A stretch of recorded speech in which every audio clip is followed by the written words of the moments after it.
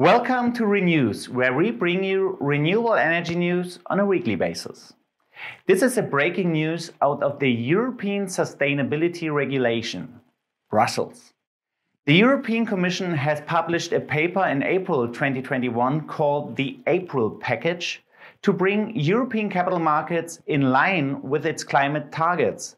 The publication provides further details on the European Taxonomy Directive for Sustainable Activities.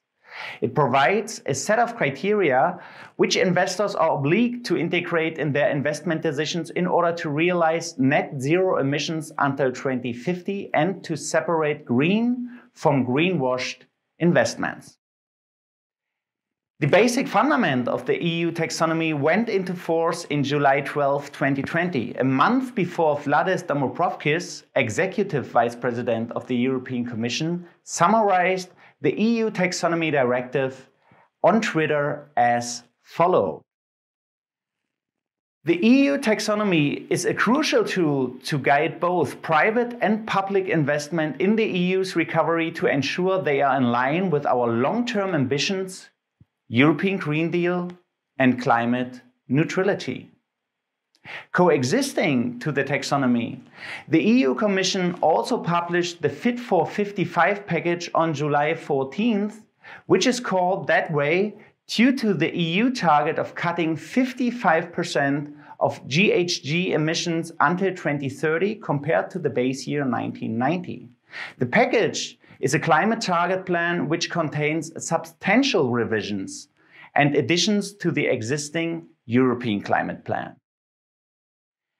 The updated directive of the EU taxonomy sheds more light on how capital will be allocated to sustainable companies by providing a set of criteria for investors to include ESG criteria in their decision making.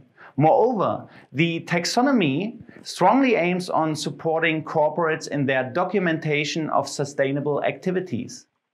Especially from a legal perspective, this new scheme can be challenging for corporates. For discussing this aspect, we have two experts in our studio today, Dr. Gabriele Haas and Dr. Clemens Maschke. Both are partners in the leading legal advisory firm Dentons. A warm welcome to both of you. Dr. Maschke, what is the EU taxonomy and the Fit for 55 package from your point of view and which role this scheme will play for future decarbonization? The EU taxonomy is a cornerstone in the European Union's Green Deal for transformation, transforming EU's um, economy for a sustainable future. Actually, in, in, terms of current developments, just yesterday, the uh, EU Commission presented a set of legislative proposals, the so called Fit for 55 proposals, defining how EU member states can meet the goals defined by the so called European Green Deal. And in terms of putting things into perspective and looking looking back at the last decade and what kind of role nowadays EU taxonomy plays, it's that basically the EU taxonomy brings along the shift from well considered intentions versus actual really sustainable investments that drive EU's decarbonization. Thank you, Dr. Maschke. The taxonomy is based on six objectives which concretize how the net zero target should be realized.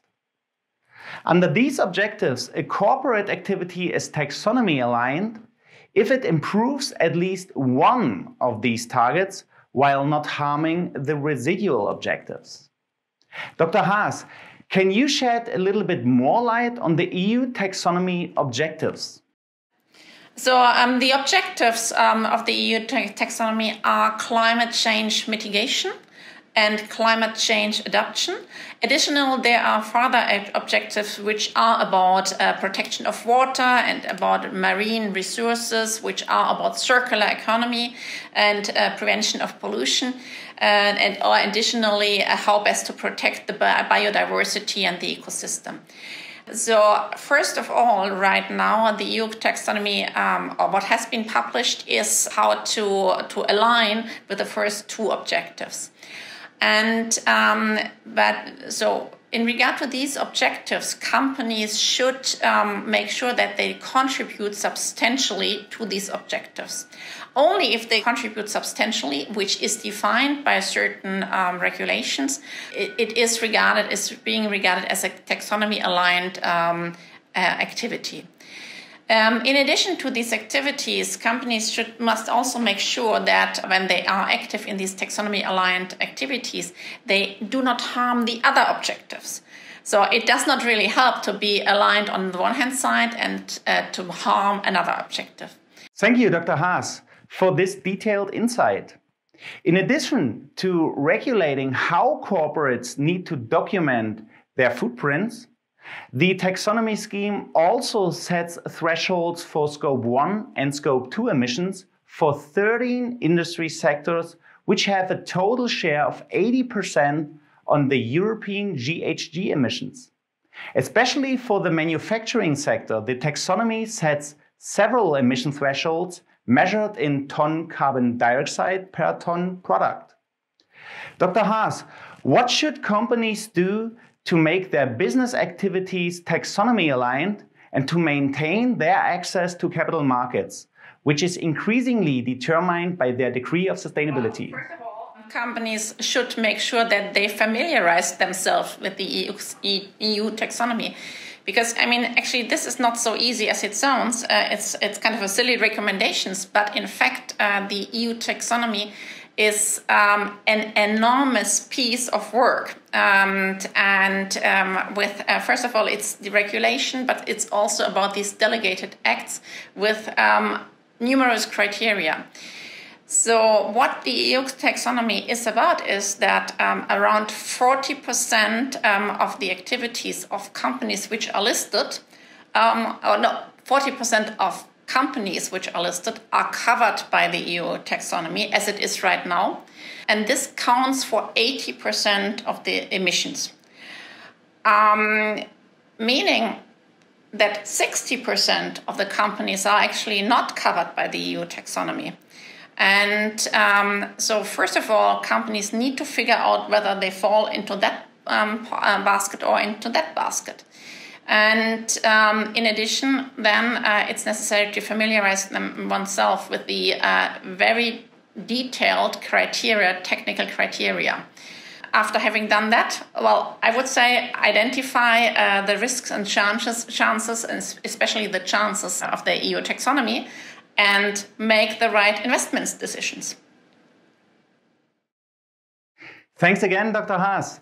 Since the delegated act of the EU taxonomy will finally start being enforced at January 1st, 2022, corporates are facing a high degree of uncertainty concerning the question what is a taxonomy aligned activity? In terms of renewable energy, a steel manufacturer, for example, can directly invest in renewable energy assets and realize a capex based approach or can close a power purchase agreement, so following an OPEX-based approach.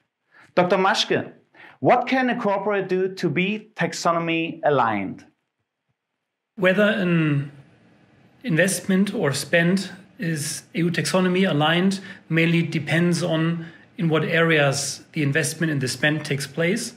The principle, the starting point of the question is the proportion of either um, OPEX or CAPEX that's being spent, the proportion in relation to what's spent on activities which are rated and defined by the EU Taxonomy Directive and which are not defined. So, in order to, to put it into an example, for instance, if a company would spend 10% of its general OPEX on leasing PV plants, then those 10% would be a contribution to its EU taxonomy aligned OPEX spending.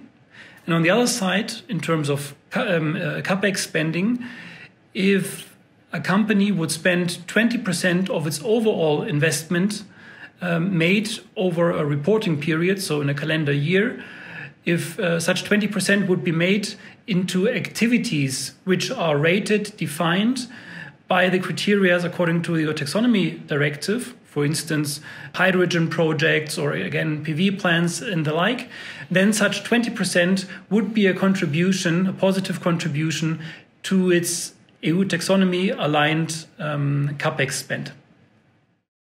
Thank you, Dr. Maschke, for this valuable insight.